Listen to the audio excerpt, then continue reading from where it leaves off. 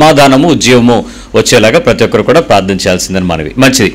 ఈ వారం మనం దేవుని యొక్క వాక్యం వెళ్ళాం ప్రభు నేసుక్రీస్తు వారి శక్తి కలిగిన నామలో కూడి వచ్చిన ప్రతి ఒక్కరికి నా ప్రత్యేకమైన వందనాలు చెల్లిస్తున్నాను. ఆయా ప్రదేశాల్లో నుంచి దేవుని వాక్యాన్ని వీక్షిస్తున్న మీ అందరికీ ప్రభు నామలో నా శుభాహ్వానం.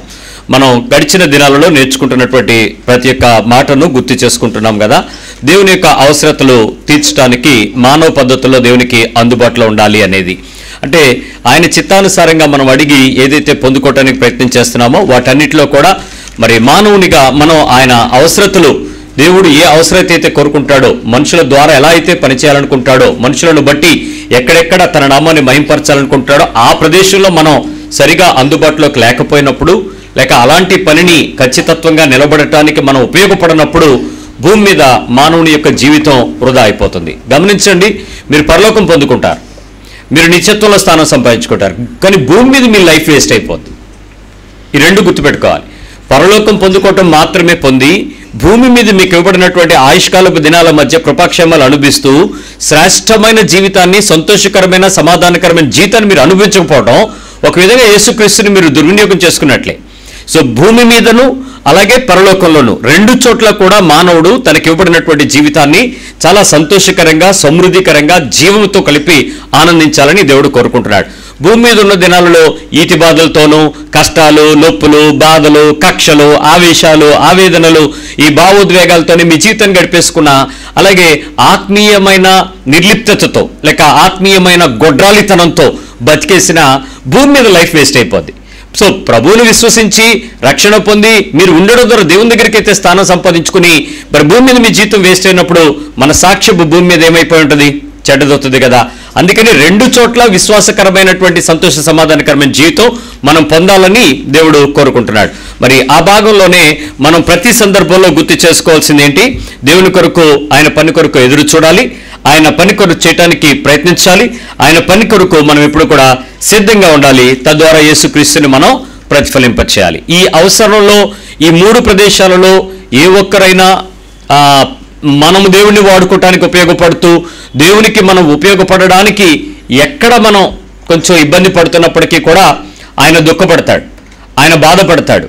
ఆయన నీకు ఇచ్చినటువంటి జీవితాన్ని పట్లి జీవితాన్ని బట్టి ఆనందించాల్సినంత యోగ్యతగా మనం ఉండలేకపోతున్నాం అనేది చెప్పాలి. ఇంకా విధంగా చెప్పాలంటే మనము మన భక్తి మన విశ్వాసపు నైవేద్యములు ఆయన మన బలులను అర్పణలను అంగీకరించట్లేదనే చెప్పాలి. అందుకే హృదయం అయితే వాళ్ళు దూరంగా ఉంచుకున్నారు. పెదవులు అయితే నాకు దగ్గరగా ఇచ్చారని ప్రభు బాధపడతాడు. సో అలాంటి జీవితం జీవించకుండా శ్రేష్టకరమైన ఉపయోగకరమైన ప్రయోజనకరమైన క్రీస్తుని ప్రతిఫలింపచేసే జీవములోనికి మనం రావాలని భక్తి యొక్క విశ్వాసమును మనం నేర్చుకుంటున్నాం. దానిలో మొదటిది ప్రతి పనిలో కూడా దేవునికి అందుబాటులో ఉండాలి. రెండవది ప్రతి స్థలము మరియు ప్రదేశంలో కూడా దేవునికి అందుబాటులోకి రావాలి. మూడవది ఉద్యోగం వ్యాపారం వ్యవహారాల్లో దేవునికి అందుబాటులోకి రావాలి. నాలుగవది కుటుంబం లేక ఇంట్లో దేవునికి అందుబాటులోకి రావాలి. ఐదో విషయాన్ని రోజు మనం నేర్చుకుందాం. స్నేహితులు లేక మన పొరుగు వారి మధ్య మనము దేవునికి ఎంత దగ్గరగా అందుబాటులో ఉండగలమో దేవుడు కోరుకుంటున్నాడో చూద్దాం. స్నేహితులు మరియు పొరుగువారు ఒకసారి మీ పక్క చెప్పండి. మనం అందుబాటులో ఎలా ఉంటామో తెచ్చుకుంటామని చెప్పండి. ఇక్కడ గమనించాల్సిన విషయం ఏంటంటే మీ మీ యొక్క మీ ఫ్రెండ్స్ ఎవరు ఉన్నారు ఫ్రెండ్స్ చిన్నప్పుడు బోల్డ్ మంది ఉంటారు. ఈ చిన్న పిల్లలందరికీ బోల్డ్ మంది ఫ్రెండ్స్ ఉంటారు. క్లాస్లో ఇరవై మంది ఉంటే ఇరవై మంది మా ఫ్రెండ్స్ అంటారు. మనకి ఇంకా వయసు పెరిగే కొద్ది ఏమవుతుందంటే ఫ్రెండ్స్ కటాప్ అయిపోతారు. బాగా తగ్గిపోయి తగ్గిపోయి తగ్గిపోయి లిమిటెడ్ వెర్షన్ వచ్చేస్తుంది. మహా మీకు ముప్పై ఐదు నలభై ఏళ్ళు వచ్చేటప్పటికి మీకు నలుగురు కన్నా మంచి బెస్ట్ ఫ్రెండ్స్ ఉండరు. అంటే మేము చూసిన పరిస్థితులను బట్టి. ఇంకా అరవై తర్వాత ఈ మధ్య కాలంలో కొత్త పోకడ వచ్చేసింది. ఏంటంటే స్కూల్ బ్యాచ్లు వచ్చేసినాయి కదా. ఎన్ని సంవత్సరాలు వచ్చినా మీ పాత బ్యాచ్ ఒకటి ఉంటుంది కదా.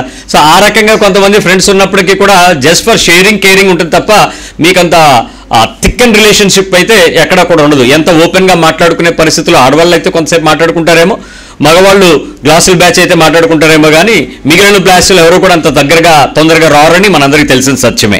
సరే అయితే మన స్నేహితులతో మనం మాట్లాడేటప్పుడు మన స్నేహితులతో మనం జీవించేటప్పుడు మన పొరుగువారి మధ్యలో మనం ఆ స్నేహాన్ని కలిగి ఉండేటప్పుడు బాల్య స్నేహితుల మధ్య స్నేహితుల పూర్వ స్నేహితుల కాదు కానీ స్నేహం అనే అనుభవంతో ఒక వ్యక్తితో ఒక వ్యక్తికి మనం ఉండేటువంటి ఆ అనుబంధాన్ని ఒకసారి పరీక్షించుకునేటప్పుడు మనకి ఏమేం చేస్తాము అనేటువంటిది వాళ్ళు గమనిస్తారు. వాళ్ళు నన్ను స్నేహితుడు స్నే- స్నేహితుడిగా తీసుకోవాలంటే నేను అవతల వ్యక్తితో స్నేహాన్ని కలిగి ఉండాలి అని అంటే ఆ ఇద్దరి మధ్యలో కెమిస్ట్రీ ఈక్వల్ అవ్వాలి కలవాలి.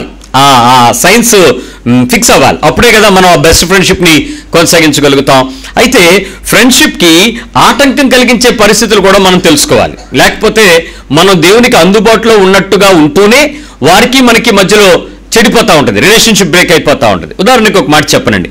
మీలో ఎవరైనా విపరీతమైన భక్తి భావాలను కలిగి ఉండేటువంటి వారు మీ విపరీతమైన భక్తి అనే దగ్గర రెండు పదాలు. ఒకటి అతి రెండు అల్ప.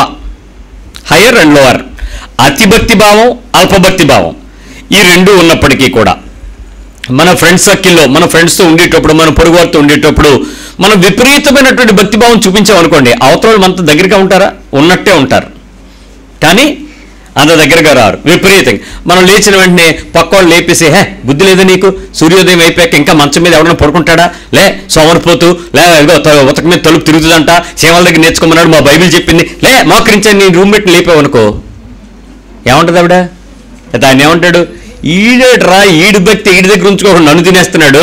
వీడికి విపరీతం అయిపోయిందిరా అని చెప్పి మన విషయంలో అంతగా అల్పమైనటువంటి విశ్వాసపు పరిస్థితుల్లో ఉండేటప్పుడు కూడా అదే నీ పక్కన ఉన్నటువంటి రూమ్మేట్ క్రిస్టియన్ అయ్యింది అనుకోండి ఇద్దరు నీ ఫ్రెండ్స్ ఇద్దరు రూమ్మేట్ క్లాస్మేట్స్ లేక మీరు ఉండే చోట ఇరుగు పొరుగు ఇద్దరు క్రిస్టియన్స్ అనుకోండి. ఒకరికి అసలు ఏమీ లేదనుకోండి. అసలు భక్తి అంటే సీరియస్గా లేక "ఏ, చర్చికి లేదా అంతవరకే ఉండాలి మరీ ఓవర్ అయిపోకూడదని ఏమైనా కొన్ని కంట్రోల్స్ పెట్టుకుని లిమిట్గా ఉన్నారనుకోండి. అప్పుడు కూడా అవతల వ్యక్తి మీరు వాళ్ళతో స్నేహం చేయడానికి ఇష్టపడతారా? మీకు కొంచెం ఎక్స్ట్రా ఉంటే వాళ్ళు బాగా తక్కువగా ఉంటే మనం యాక్సెప్ట్ చేయం. ఎందుకంటే నచ్చదు మనకి. ఎందుకంటే మనకి ఆ ఈక్వల్ ఫేస్ రాలేదు కాబట్టి "ఆ, ఏముందలే అని మన పక్కకి తీసేస్తూ ఉంటాం. అందుకని విపరీతమైన భక్తి భావనలు కూడా దేవుని దృష్టిని ఆకర్షించవు. అల్పమైనవి. నేను ఈ రెండు విషయాలు చెప్తాను అతి మరియు అల్ప. హయ్యర్ అండ్ హైపో రెండు చెప్తున్నా. ఈ రెండింట్లో మీరు దేవుని దృష్టిని ఆకర్షించలేరు. నెంబర్ టూ విపరీతమైన ప్రార్థనలు ఉపవాసాలు కన్నీరు మొదలగునవి నువ్వు కలిగి ఉండటం కూడా దేవుని దృష్టిని మీరు ఆకర్షించలేరు. ఆకర్షించలేరు. మీ కన్నీరు కానీ ప్రార్థనలు కానీ ఉపవాసాలు విపరీతంగా మీరు చేసుకున్నప్పటికీ కూడా అసలు అవేమీ లేకపోయినప్పటికీ కూడా మీరు అడగచ్చు మధ్యస్థంగా ఉండాలా తటస్థంగా ఉండాలా మరి హయ్యర్ లేదంటున్నారు లోవర్ లేదంటున్నారు మరి ఎలాగా మరి మాకు ఈ ఆత్మ తప్ప మేము ఇలా చేయకూడదా అని. ఇవన్నీ నేను మిమ్మల్ని విమర్శించడానికి చెప్పట్లే. మీరు చేసే అతిలో ఉన్నారేమో చూసుకోండి అని చెప్తున్నాను. కంట్రోల్లో ఉంటే ఎవరికి గుర్తించబడవు. అతి చేస్తే గుర్తించబడతాయి లోక లేకుండా ఉంటే గుర్తించబడతారు. కాబట్టి ఎక్కడున్నారో ఉండాలి చూసుకోండి. సో విపరీతమైన ప్రార్థనలు ఉపవాసాలు కన్నీరు మొదలైనవి కూడా దేవుని దృష్టికి ఎవరిని కూడా ఆకర్షించనివ్వలేవు. మూడవది విపరీతమైన సంఘ కార్యక్రమాలు సువార్తలు మొదలగునవి కూడా దేవుని దృష్టిని ఆకర్షించలేవు. విపరీతమైన సంఘ కార్యక్రమాలు. విస్తారమైన కార్యక్రమాలు విస్తారమైన ప్రార్థనలు విస్తారమైనటువంటి సువార్త కార్యక్రమాలు ఈ మధ్యకాలంలో కొత్త ఫ్యాషన్ దండయాత్రలు. దేవుని సువార్తను ఎవరో మూసేయరు క్రైస్తవులే మూసేస్తారు. క్రైస్తవులు ఈ రకమైనటువంటి పనులు చేయటం ద్వారా అన్యజనులు మనల్ని అడ్డుకొని మా గ్రామంలో క్రైస్తవులు లేరు మా వీధిలోకి రావద్దు మమ్మల్ని ఎవరు రమ్మన్నాడు మీ పర్మిషన్ ఉందా అని బయటకు రావడానికి కారణం ఎవరు అనుకుంటున్నారు? ఈ దండయాత్ర బ్యాచ్లే. వీళ్ళు సువార్త చెప్తున్నాం అనుకుని శిష్యత్వంగా ఉండలేక అతిభక్తిని ప్రదర్శించి దేవుని మార్గాలను మూసుకుంటూ వెళ్తున్నారు. సరే వా- దేవుడు వాళ్ళని అందుకే ప్రేరేపించాడేమో. అయితే యూదా దగ్గర యూదానేమో యేసు ప్రభుని వెతకడానికి ఉపయోగించుకున్నాడు. ఎట్ ద సేమ్ టైం ఉరి పెట్టుకొని చావడానికి కూడా ఉపయోగించుకున్నాడు. ఆశ్రపుత్రుడు అయ్యాడు. సో నువ్వు దేనికి ఉపయోగపడతావో పరిశుద్ధమైన దానిక అపవిత్రమైన దానిక చూసుకోవాలి. నాలుగో విషయం. విపరీతమైన ఉద్యమాలు అధికారాలు పొందుకోవటం కూడా ఈ మొదలైనవి ఏవి కూడా దేవుని దృష్టిని ఆకర్షించలేవు విపరీతమైనటువంటి ఉద్యమాలు. ఏ చిన్న విషయం అయిపోయినా మనం మౌనంగా ఉండకూడదు మనం రెచ్చిపోవాలి మన రిప్రజెంటేషన్స్ ఇవ్వాలి మనం ధర్నా చేయాలి కొవ్వొత్తులు ర్యాలీ చేయాలి మరియం బొమ్మకి దండయ్యాలి యేసుప్రభు బొమ్మకి వెనకపత్రం ఇవ్వాలి. ఏంటి ఇవన్నీ విపరీతమైనటువంటి ఉద్యమాలు ఈ మధ్యకాలంలో క్రైస్తవులు ఎక్కువగా చేస్తా ఉన్నారు. యేసుప్రభు కాలంలో ఉద్యమాలు చేయడానికి అవకాశం ఉన్నప్పటికీ కూడా ఆయన నోరు తెరవలేదని ఉంది మనం నోరు ఎందుకు తెరవట్లేదని అడుగుతున్నాం ఈ రోజుల్లో. అందుకే ఏమనంటే దేవుని యొక్క వాక్యాన్ని సైతం అటు ఇటు తిప్పి మనిషికి కావాల్సినట్లుగా మలుచుకుని ఈ చెంప కొట్టమంటే కొడితే ఈ చెంప చూపించమంటే అది దానికి సంబంధించింది కాదు. ఆడు చెంప మీద కొట్టమంటే నువ్వు వీపు మీద గుద్దు అంటున్నాడు ఒక ఆయన. సో అలాంటి పనులు మనం చేయకూడదు. విపరీతమైన ఉద్యమాలు అధికారాలు పొందుకోవటం కూడా దేవుని దృష్టికి ఆకర్షించక బతకం ఐదో విషయం విపరీతమైనటువంటి అధికారిక లేక పరిచయాలు రాజు యొక్క ప్రాపకాలు కూడా దేవుని దృష్టికి మనల్ని గరుడుగా ఎంచనివ్వవు. నేను మళ్ళీ చెప్తున్నాను ఈ మధ్య కాలంలో చాలా సీసీలు ఎక్కువైపోయినాయి. సీసీలు అంటే ఆ, ఏఎల్సిసి అని ఏఐసిసి అని క్రిస్టియన్ కౌన్సిల్ అని రకరకాల కౌన్సిల్స్. దానిలో bishop councils archbishop council ఏవేవో పెట్టేసుకున్నారు పేర్లు. బోల్డ్ మంది నాయకులు అయిపోతున్నారు ఈ మధ్య. చాలా మంది వీళ్ళందరూ కూడా మరి బా- మన స్టేట్ గవర్నమెంట్లో కూడా వీళ్ళు అధికారికంగా బీసీ అధ్యక్షులుగాను బీసీ సంఘ ప్రతినిధులుగాను క్రైస్తవ సంఘ ప్రతినిధులుగాను కొంతమంది వారు రాజు యొక్క ప్రాపకాన్ని సంపాదించుకొని పదవులు తెచ్చుకుంటున్నారు. ఇలాంటి పరిస్థితుల్లో మీరు రాజుల చేత గనపరచబడతారేమో కానీ దేవుని చేత గుర్తించబడం అలాంటి సంఘాలలో నేను ప్రెసిడెంట్ని సెక్రటరీని ట్రెజరర్ని చైర్మన్ని ఇంకేదో పోర్ట్ఫోలియో మెంబర్ని అఫీషియో మెంబర్ని నథింగ్ డూయింగ్ ఇవేవి కూడా మీరు దేవుని దృష్టిని ఆకర్షించనేవో మన భక్తికి ప్రమాణాలు కావు. ఆరోది విపరీతమైన ఆత్మీయమైన వాక్య జ్ఞాన పరిచర్యలు కూడా ప్రభు దృష్టికి ఆకర్షించనివ్వవు అంగీకరించనివ్వు. ఇది ఎందుకు చెప్తున్నానంటే విపరీతమైన ఆత్మీయ పరిచర్యలలో ఇదిగో ఈ విస్తారమైన టీవీ పరిచర్యలు ఇంటర్నెట్ పరిచర్యలు రకరకాల కార్యక్రమాలు ఈ యూట్యూబ్ పరిచర్యలు ఈ వాట్సాప్ పరిచర్యలు రకరకాల పరిచర్యలు. అలాగే బైబిల్కి సంబంధించినటువంటి జ్ఞానం సంపాదించుకోవడానికి థియాలజీలు ఇలాంటివి చాలా సంపాదించేసుకుని మనం దేవుని దృష్టికి ఏమైనా పడిపోతామానంటే ఎంత కష్టపడినా నీ జీవితంలో ఉండాల్సినవి వేరే కోరుకుంటాడు. వాటిని నువ్వు లేకుండా వీటిని నువ్వు ఎన్ని చేసినా కూడా నువ్వెవరో నాకు తెలియదు అంటాడు జాగ్రత్త. ఆఖరిగా విపరీతమైన వ్యక్తిగతమైన రహస్య ఆత్మీయత కూడా దేవుని దృష్టికి మనల్ని గుర్తించనివ్వదు.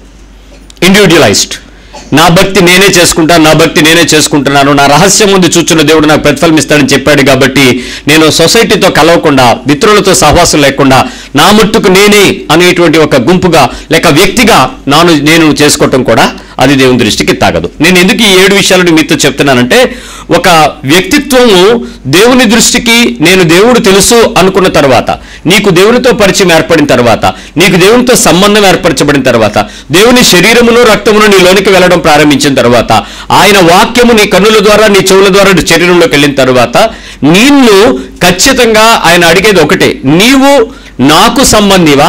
నీవు నా పక్షమైన లోకపు ప్రతినిధివా?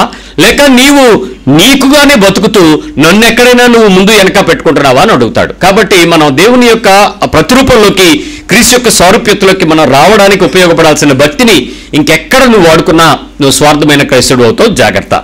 మరి ఎలాంటి పరిస్థితుల్లో మనం దేవునికి అందుబాటులో ఉండాలి? ఒక మంచి క్రైస్తవుడిగా పొరుగువాడుగా ఎలా ఉండాలి? గమనించండి. నేను ఈ ఏడు విషయాలు ఎందుకు చెప్పానో మీరు గుర్తు చేసుకోండి. ఈ రకమైన భావనలతో మీరు ఎప్పుడైనా ఎవరితోనైనా పోల్చుకుని వాళ్ళకన్నా నేను మంచి క్రైస్తవునని వారికన్నా నేను గొప్పదానినని మీరు అనుకుంటే ఆ రకమైనటువంటి నీ వలన వచ్చే నీ పొరుగు వాడికి నీ వలన నష్టం కలుగుద్ది. నీ వలన నీ పొరుగు వానికి బాధ కలుగుద్ది. నీ వలన నీ స్నేహితుడిని పోగొట్టుకునే వాడివి అవుతావు. కాబట్టి నీవు ఈ క్రియలను సరిచేసుకుంటూ క్రీస్తుని దగ్గరగా చూపడానికి ప్రయత్నించేద్దాం ఈరోజు ఒక ఏడు ప్రాముఖ్యమైన విషయాలను మనం నేర్చుకోవడానికి ప్రయత్నించేద్దాం సమయాన్ని బట్టి ఎలాంటి పరిస్థితుల్లో మనం నిజమైనటువంటి స్నేహితులుగా ఉండడానికి దేవుడు ఇష్టపడతాడో మనం చూద్దాం. లూకస్ వార్త పదహారో అధ్యాయం. Luke sixteen.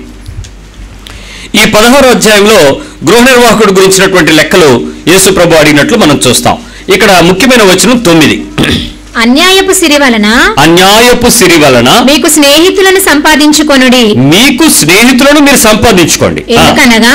ఆ సిరి మిమ్మల్ని వదిలిపోవునప్పుడు. వారు నిత్యమైన నివాసంలో మిమ్మల్ని చేర్చుకొందరని మీతో చెప్పుచున్నాను చాలు దీని కంటిన్యూషన్ వర్స్ పదో వచ్చిన ఉంది మిక్కిలి కొంచెంలో నమ్మకంగా ఉన్నవాడు అన్నిట్లో ఉంటాడని మిక్కిలి ఎక్కువగా నమ్మకమైన విషయాన్ని మీరు పరీక్షించుకోండి అని ఆ అన్యాయం గురించి న్యాయం గురించి మాట్లాడుతూ ఉంటాడు. సరే ఇక్కడ ఈ వచనాన్ని మీరు చాలా మంది చాలా రకాలుగా వినుంటారు. చాలా రకాల పరిస్థితుల్లో మీకు కొన్ని అభిప్రాయాలు కూడా వచ్చి ఉంటాయి. ఇంకా క్లారిఫికేషన్ కూడా కొంతమందికి వచ్చి ఉండదు. కొన్ని విషయాలు విందాం. అన్యాయపు సిరి వలన మనం ఏం సంపాదించుకోవచ్చు? స్నేహితులను. రైట్ అన్యాయమైనటువంటి సొమ్ము దగ్గర నువ్వు నమ్మకంగా లేకపోతే న్యాయమైన సొమ్ము నీకు ఎవడిస్తాడు అన్నది ఆఖరి ఆ పేర ముగింపులో ఉంది. న్యాయమైనవేంటి అన్యాయమైనవేంటి ఒకసారి ఆలోచించేద్దాం మీ పక్క వాళ్ళని అడగండి మీరు పుట్టేటప్పుడు ఎంత ఎంత పట్టుకొచ్చారని అడగండి. డబ్బులు డబ్బులు. ఎన్ని తులాలు బంగారంతో పుట్టారని అడగండి. ఎన్ని గజాల ఆస్తితో పుట్టారని చెప్పండి. ఎవరు ఉన్నాయా? ఎవరైనా చెప్పారు? వచ్చిన వాళ్ళు లేపండి చూద్దాం. ఎలాంటి మహాత్ములు మనకి ఊరకరారు. పుట్టేటప్పుడు ఏమైనా తెచ్చారా? తేలేదు. ఏమైనా సంపాదించుకున్నారా? ఓ ఏం సంపాదించుకున్నా ఒకవేళ సంపాదించుకోకపోయినా రెండు విషయాలు మనకు వాస్తవం. ఒకటి తలసరి అప్పులో మనం భాగం. తలసరి అప్పులు. ప్రపంచ బ్యాంక్ దగ్గర మన దేశం అప్పు ఎంత తీసుకుందో ఆ అప్పు నా తల మీద కూడా ఉంటుంది. సో జీవితకాలం నేను పనులు కట్టుకుంటూ అప్పు తెచ్చుకోవడానికే బతుకు సరిపడాలి. సరే నేను సంపాదించుకుంటాను అది వేరే విషయం. రెండవది నా తండ్రి మంచి ఆస్తిపరుడు అనుకోండి. మంచి కోటీశ్వరుడు లేదా కోట్లీశ్వరులో ఈ మధ్య కోట్లు దాటిపోతున్నారు. అలాంటి వాళ్ళు ఏ అదాని అంబానీ అలాంటి వాళ్ళు అనుకోండి. పిల్లడు పుట్టేటప్పటికి ఏముంటుంది దానికి ఏమీ కాకుండా మరి దేవాంశ ఆస్తి గురించి లెక్కేస్తే చాలా పెద్దది ఉందంట సో కోట్ల రూపాయల ఆస్తిగా పుడుతున్నారు. అయితే వాళ్ళు అనుభవించటానికి వాళ్ళకి ఆస్తి తాలూకా ఆ ప్రమాణం తెలియదు కాబట్టి పిల్లలుగా వాళ్ళకి అదేం తెలియదు. వాళ్ళు పెద్దోడయ్యాక మా తాతకి ఎంత ఉంది మా నాన్నకి ఎంత ఉంది నాకు ఎంత ఉందో లెక్కలేసుకుంటాడు. అది పక్కకు పెడదాం.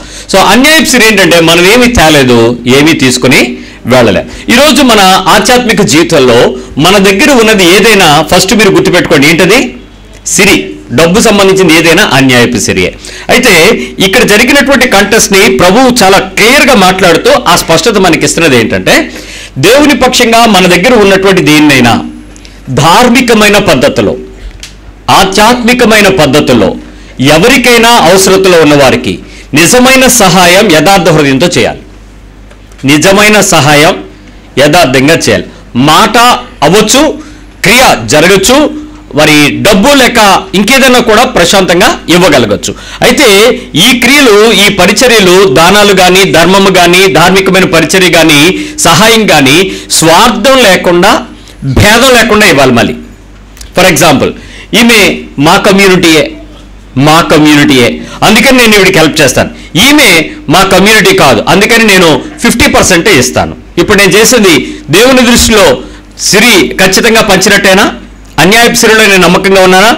లేను. ఒకరికి ఎక్కువ ఒకరికి తక్కువ. దానికి భేదం ఉంది నాలో స్వార్థం ఉంది నా అనే దానికి కొంత విభజ విభజన గీత గీసి దాన్ని సపరేట్ చేశారు. సో దేవుడు దాన్ని అంగీకరించడు. అలాగే చాలా పరిస్థితుల్లో ఈ లోకంలో మనం చాలా మందికి ఇచ్చేటప్పుడు ఎలా ఇవ్వాలి? అందరికీ హెల్ప్ చేయాలి. ఈ ఈ హెల్ప్ చేస్తే లోకం ఏమనుకుందంటే బాగా సహాయం చేస్తే ఖచ్చితంగా మనకి ఏం దొరుకుతుందో తెలుసా? పుణ్యం. పుణ్యం మనల్ని ఎక్కడ తీసుకెళ్ళద్ది? స్వర్గం. లేక పరలోకం తీసుకెళ్ళద్ది అని అనుకుంటారు.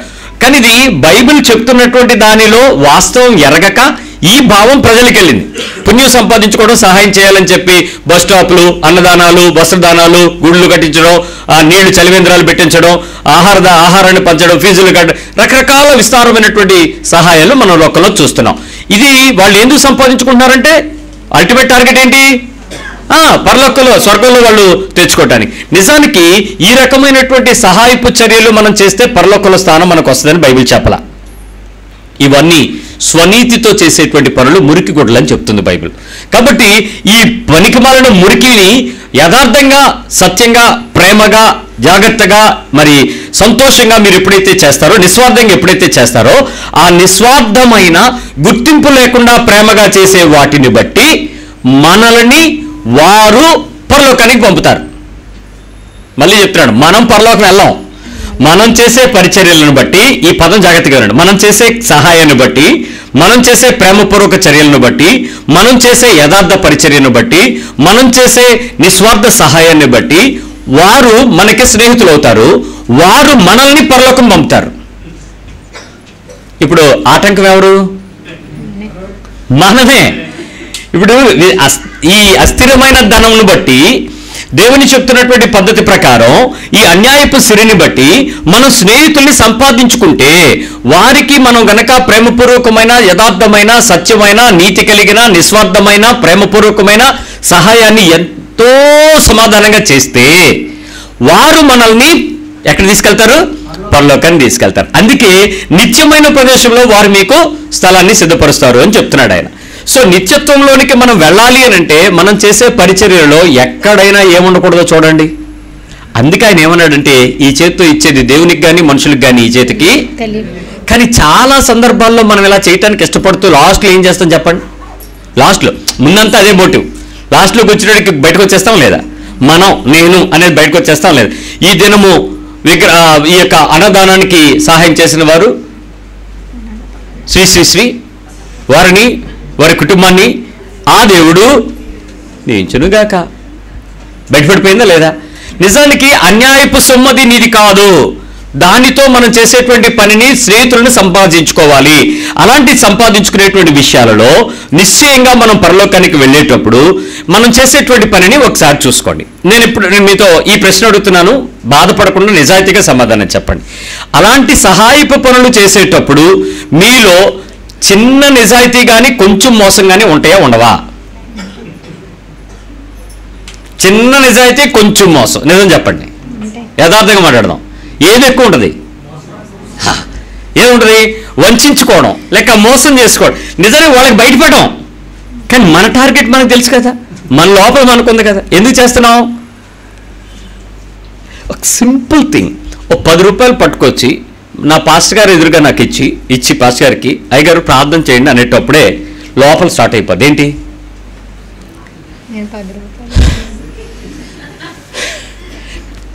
ఇచ్చాను. ఇచ్చాను. ఎవరికి ఇచ్చావు? మధ్యలో ఓకే పాస్టర్ గారే. కానీ పేరు ఎవరిది? కానీ లోపల హార్ట్ ఏం చెప్పుద్ది నీతో? అరే అన్యాయపు సిరి. అది నీది కాదు. నీకు సంపాదించుకుని భాగ్యం కలిగిస్తున్న వల్ల నీకు వచ్చినది ఈ రోజు నీ దగ్గర ఉంటుంది? రేపు ఇంకో చోటకి వెళ్ళిపోతే అస్థిరమైంది. దానిని నువ్వు ఇస్తున్న దానికన్నా దాన్ని ఇచ్చిన వాడి కొరకు నువ్వు ఎలా చేస్తున్నావు అనేది నీ హృదయం. అందుకనే ఏ రకంగా కూడా నిజాయితీ కానీ వంచుట లేక మోసం లాంటి ఈ ఇంటర్నల్గా ఉండేటువంటి విషయాలు చిన్న చిన్న విషయాలు మిమ్మల్ని బయటపడతాయి.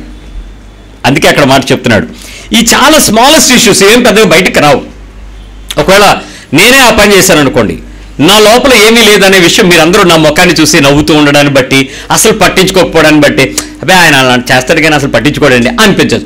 కానీ నా సంగతి నాకు ఆయనకి ఎలా తెలుసు? ఉందా లేదా? ఇప్పుడు చెప్పండి అతి చిన్నమైన విషయాల్లో నేను నమ్మకంగా ఉంటే లోపల అప్పుడు అన్ని విషయాల్లో నేను నమ్మకంగా ఉంటాను. కానీ ప్రాబ్లం ఏంటి? ఇవన్నీ చాలా చిన్న విషయాలు. లోకమంతా ఏమనుకుంటుందంటే ఇలాంటి పరిచర్యలు ఇలాంటి పనులు చేసేటప్పుడు మీరు ఎందుకు చేశారో ఎలా చేశారో చూడదు. మీరు చేశారా లేదన్నది ఇంపార్టెంట్ దాన్ని బట్టే ఘనత దాన్ని బట్టి గుర్తింపు దాన్ని బట్టే ప్రపంచంలో వారు గొప్ప దానలు దానకరుణులని లేకపోతే గొప్పగా గొప్ప బిరుదులు ఇస్తారు. కానీ బైబిల్ అలా చెప్పట్లే. లోపల మనలో ఉండేటువంటి అతి చిన్న విషయాలలో మన యథార్థత నమ్మకత్వాన్ని పరీక్షిస్తారు అందుకే చిన్న చిన్న విషయాల్లో మన నమ్మకంగా ఉంటేనే పెద్ద విషయాలు సత్యమైన ధనం మీకు ఇస్తాను అని చెప్పాడు. నిజమైనటువంటి అసత్యమైన ధనం దగ్గర మనం ఇలా నమ్మకంగా లేనప్పుడు నిజమైన సత్యమైన ధనం మీకు ఎందుకు ఇవ్వాలి దేవుడు? ఇప్పుడు చెప్పండి. అన్యాయపు సొమ్ము వలన అంటే నాకు ఇవ్వబడినది నా దగ్గర ఉంచబడినది నేను అజమాయిషి చేస్తున్నది నేను సంపాదించడం ద్వారా నా చేతిలోకి వచ్చింది. ఏదైనా సరే మీరు ఎవరినైనా స్నేహితులు సంపాదించుకున్నారా? Do have any friends nearby you ఏంటి ఎవరు మాట్లాడరండి? అన్యాయపు సొమ్ము వలన అంటే మళ్ళీ ఎవరిదో లంచం ఇస్తే దాన్ని తీసుకెళ్ళి ఇంకెక్కడో దానం చేయడం కాదు. అది కాదు అన్యాయపు సొమ్ము. బైబిల్ చెప్పేది అది కాదు. నాకు ఇవ్వబడిన దానిని బట్టి నేను నా సంతోషంగా ఇప్పుడు ఒక తండ్రి గారు ఉన్నారు. అతని నలుగురు ఒక నలుగురు పిల్లలు ఉన్నారు. నలుగురు పిల్లల్ని చదివిస్తాడు. నలుగురు పిల్లలకి ట్యూషన్ ఫీజులు కడతాడు. బట్టలకు ఖర్చు పెడతాడు. తిండి ఖర్చు పెడతాడు. ఆరోగ్యానికి ఖర్చు పెడతాడు. భవిష్యత్తు ఖర్చు పెడతాడు. ఫీజులు కడతాడు. చాలా ఖర్చు పెడతాడు. లాస్ట్కి ఎండ్ ఆఫ్ ద డే వెనక్కి వచ్చేటప్పటికి వాళ్ళు ఏమి ఇచ్చినా ఇవ్వపోయినా ఇది నా బాధ్యతరా అని అంటాడు. చూడండి అన్యాయపైన సొమ్ము తన పిల్లలకి ఎలాగైతే ఖర్చు పెట్టాడో అలాగే నీ స్నేహితులుగా ఉండే దేవుని పిల్లలు కొంతమంది ఉన్నారు. నీ కళ్ళకి కనబడ్డయ్యా వాళ్ళు దేవుని పిల్లలు. అనాథలైన వారికి తండ్రి ఎవరు? అలాంటి పిల్లలు నీ కనపడితే వాళ్ళని నువ్వు స్నేహితులుగా చేర్చుకోవచ్చు. వాళ్ళు నీకు స్నేహితులు అవుతారు. పలానా అయ్యగారు పలానా అన్నగారు పలానా సిస్టర్ గారు పలానా బ్రదర్ గారు పలానా పలానా పలానా. ఇది ఎక్కడో చారిటబుల్ ట్రస్ట్లు పెట్టు లేక సొసైటీలు పెట్టు లేక ఎవరో ఫండ్ పెట్టు వాళ్ళ దగ్గర తీసుకెళ్ళి వీళ్ళ దగ్గర తీసుకెళ్ళి చేసుకునే పద్ధతిలో కాకూడదు. నీ చుట్టూ కొంతమంది స్నేహితులుగా నీకు ఉండగలగాలి. ఆ రకమైనటువంటి చారిటీ హార్ట్తో నువ్వు పెంచగలగాలి నువ్వు పెరగగలగాలి నువ్వు ఇవ్వగలగాలి. ఆ స్థాయిలో నీ హార్ట్ ఎంతవరకు ఎక్స్పాండ్ అయ్యింది? మళ్ళీ ఏదైనా చేస్తున్నామంటే దాని లోపల మరి చిన్న విషయాల్లో నమ్మకంగా లేకుండా ఉండడం. మోసం చేసుకోవడం ఎక్కడో గుర్తింపు పొందడం ఎక్కడో తృప్తి పొందడం ఏదో చేయటం లేకపోతే ఓ చిన్న క్లిక్ ఫోటో తీసుకోవడం. అలా కుదరదు. అన్యాయపు సొమ్ము. నాది కాదు నేను మరికొంతమందిని సంపాదించుకుంటాను. వాళ్ళ బతుకులకు నేను ఆధారం అవుతాను వాళ్ళ జీవితానికి నేను మార్గం అవుతాను వాళ్ళ కుటుంబాలకు నేను ఆధారం అవుతాను ఏదో సంథింగ్ ఐ కెన్ డూ ఏం చేయగలం? అన్యాయపు సొమ్ము వలన స్నేహితులు ఎంతమంది ఉన్నారు నీకు? ఇలాంటి విషయాలలో నిజానికి మనం క్రైస్తవ్యం ఏమనుకుంటుందంటే నేను మంచి చర్చికి వెళ్తాను మంచి వాక్యం వింటాను. నా డాక్టరీన్ కరెక్టు. మా పాస్టర్ గారితో మేము పరిచర్యకి వెళ్తాము. మేము చాలా ప్రార్థనలు చేస్తాము. మేము చాలా చక్కగా బైబిల్ విషయాలలో ఇలాంటి విషయాలు ఇవన్నీ పెద్ద పెద్ద విషయాలండి. మీరు చాలా నమ్మకంగానే ఉంటారు. కానీ నమ్మకం ఉండాల్సింది ఎక్కడ? లోపల యథార్థత మో మోసం దగ్గర బుక్ అయిపోతాం. సో ఇలాంటి పరిస్థితుల్లో ఈ డాక్టరినల్ ఇష్యూస్లో మీరు గొప్పగా ఉండడం ముఖ్యం కాదు కానీ బిబ్లికల్ ఇష్యూస్లో యేసు ప్రభు వారు గట్టిగా నొక్కి చెప్పిన విషయాలలో ఎక్కడ మనం అన్యాయపు సిరి వలన మంచి స్నేహితుల్ని మీరు సంపాదించుకున్నారో పరీక్షించండి. ఎవరికైనా మీరు ఫర్ ఎగ్జాంపుల్ చాలామంది ఏ రకమైన సహాయం చేసినా కొద్ది కాలానికి మర్చిపోతారు. ఏ రకమైన సహాయం చేసినా మళ్ళీ చెప్తున్నాను ఏ రకమైన సహాయం చేసినా మర్చిపోతుంటారు. కొన్ని ప్రత్యక్షమైన సహాయాలు ఉన్నాయి ఒకటి ఆత్మీయ సహాయం చేయుట. ఆత్మలో వారికి సహాయం చేయడానికి చాలా మంది పెద్ద ఖర్చులు అవ్వవు కదా నిజప్రభు గురించి చెప్పడానికి. దీనికి చాలా మంది చేసేసి నే ఎవరైనా అంటే అమ్మ మిమ్మల్ని ఎవరు నడిపించారు? అని అడగగానే "ఆ, మమ్మల్ని పలానా అమ్మనంటే ఆవిడ వెంటనే లేచే ఉంటారంటే ఆమెకి ఆత్మీయ తండ్రి నేనే. ఆత్మీయ తల్లి. పిన్ని అప్ప అత్త అన్నీ వీళ్ళే వీళ్ళు ఇలా చెప్పుకోకపోతే వాళ్ళకి ఫీల్ అయిపోతారు. వీళ్ళందరినీ నడిపించింది నేనే. నువ్వా? తండ్రి ఆకర్షించకపోతే ఎవడైనా వస్తాడా ప్రభు దగ్గరికి? సో దేవుని పక్షమైనటువంటి మహిమ మరొకరు దొంగిలించకపోతే మిక్కిలి చిన్న విషయంలో నమ్మకం లేను ఇలా చిన్నగా తమ హైలైట్ చేసుకునే వాళ్ళు ఎవరినైనా చూస్తే మీకు గుర్తు రావాల్సింది ఒకటి ఏంటంటే వాళ్ళు చిన్న విషయాల్లో నమ్మకంగా లేరు. వాళ్ళకి సత్యమైన ధనాన్ని దేవుడు ఇవ్వలేడని మీకు అర్థమైపోద్ది. ఎందుకంటే వాళ్ళకి ఆ మంచి స్నేహితులు లేరు. అలాగని ఒక నాయకుడు ఉంటే ఆడ చుట్టూ వంద మంది తిరుగుతారు. అయ్యగారు అగరు అమ్మగారు అనగారు నిజం చెప్పండి వాళ్ళందరూ దీని వలన వచ్చిన వాళ్ళు దేని వల్ల వచ్చిన వాళ్ళు ఇందాక నేను చెప్పిన అతి ఉన్నాయి చూసారా? ఆటి వల్ల వచ్చిన వాళ్ళు దాని వల్ల వాళ్ళకి ప్రతిఫలం లేదు వ్యక్తికి ప్రతిఫలం లేదు ప్రభువుకి మహిమ లేదు. సో ఈ రెండింటిని మీరు బ్యాలెన్స్ చేసుకోండి. నేను చెప్పిన మాటలు మళ్ళీ మీకు అర్థం అవ్వాలంటే మళ్ళీ వినండి ఈ మెసేజ్. చాలా క్షుణ్ణంగా లోపలికి వెళ్ళండి. చిన్న విషయాలలో నమ్మకత్వం లేని వాళ్ళు అతి గొప్ప విషయాలలో సత్యమైన ధనాన్ని దేవుని దగ్గర నుంచి మీరు పొందుకోవడానికి అర్హత లేరు. చిన్న విషయాల్లో నమ్మకత్వంగా ఉండేవారు యథార్థమైన హృదయంతో మీరు ఎప్పుడైతే మీ స్నేహితులకు నిజమైన సహాయం చేయడానికి ఇష్టపడతారో మళ్ళీ ఇక్కడ ఫ్రెండ్స్ అనేటప్పుడు ఒక చిన్న అభిప్రాయం ఏర్పడుతుంది. ఇప్పుడు నా ఫ్రెండ్స్ ఎవరో తెలుసా మీకు? నా ఫ్రెండ్స్ ఎవరెవరు ఉంటారో తెలుసా మీకు? నాకు ఎక్కువ మంది స్నేహితులు ఎవరో తెలుసా? నాకంటే చాలా పెద్దోళ్ళు. నాకన్నా చాలా చిన్నోళ్ళు. బాగా చిన్నపిల్లలు బాగా వయసులో పెద్దోళ్ళు నా స్నేహితులు. ఈక్వల్ ఏజ్లో ఉంటారులేండి. టెన్ ఫైవ్ ఇయర్స్ అటు ఇటు. కానీ ఎందుకు ఇక్కడ స్నేహానికి ఏం లేదు? ఏజ్ బార్ లేదు. అది గుర్తించండి. నిజమైనటువంటి స్నేహము ఏ పరిస్థితుల్లోనైనా ఒక వ్యక్తిని సంపాదించుకోవడానికి ఒక వ్యక్తిని పొందుకోవటానికి ఒక వ్యక్తికి దేవుని పక్షమైనటువంటి ఒక సహాయకుడిగా నేను దేవుని అవసరతను ఆ వ్యక్తి ద్వారా ఆ వ్యక్తి కొరకు నేను నియమించాలని దేవుడు అనుకుంటే ఆ వ్యక్తివి నువ్వే అవ్వాలి. ఆ వ్యక్తి ఎక్కడున్నాడో నీకు తెలియకూడదు. ఏ గుర్తింపును ఆశించకూడదు. సో దైవికమైన జనములో చాలామందికి చాలా రకాల పరిస్థితుల్లో ఉండేటువంటి వారు ఉంటారు. ఒక్కసారి సామెతలు ఇరవై రెండు చూడండి. ఈ వచ్చిన ఉదయం కూడా మేము పార్వతీపురంలో మేము ధ్యానించుకున్నాం. ప్రోబ్స్ ట్వంటీ టూలో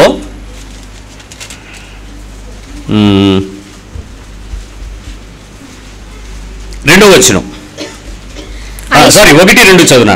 గొప్ప ఐశ్వర్యము కంటే మంచి పేరును ఏంటంటే ఏం కావాలి? గొప్ప ఐశ్వర్యము కంటే. మంచి పేరును మంచి పేరు కావాలా? నిజానికి లోకం అంతటికి ఏం కావాలి? మంచి పేరు డబ్బులా?